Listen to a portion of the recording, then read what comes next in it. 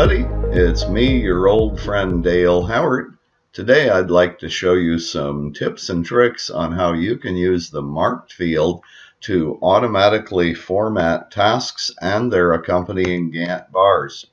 So in this project, what I would like to do is automatically format every important task using the light green cell background formatting and I'd like the Gantt bars for those tasks to automatically be formatted as light green as well.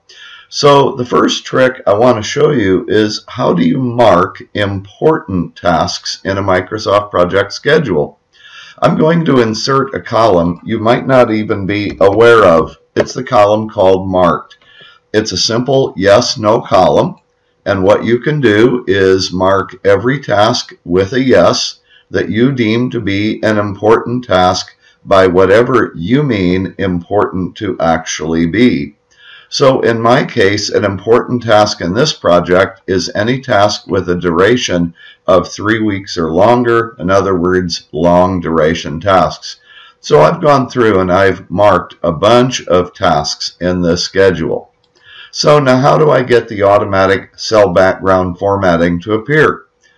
To do this, we go to the Format ribbon, and on the far left end, the Text Styles button. In the Text Styles dialog, when I click the drop-down arrow, amazingly enough, there's an item for formatting called Marked Tasks. We can automatically format marked tasks, in other words, those tasks with a yes value in the marked field, any way we want. So what I'm going to choose is the light green cell background formatting. When I click OK, look at that, folks.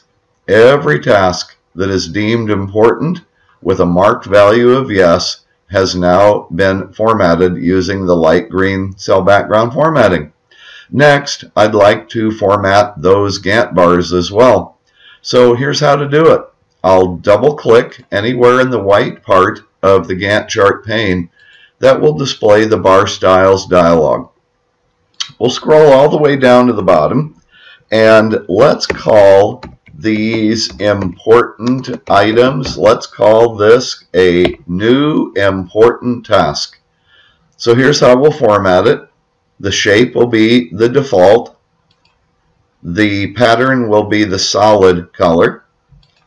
The color, again, will be the light green. Next, what kind of tasks will use this particular Gantt bar? Well, look at this, folks. You see the marked field appearing here again. So each important task will be green Gantt bar, and it's the marked field where we have a yes value. When I click OK, bingo, ladies and gentlemen, look at this. If I start scrolling down through, every task that is marked with a yes value in the marked field uses the automatic cell background formatting and the Gantt bar formatting. So that's it for today. Thanks everybody. We'll see you the next time. Bye-bye.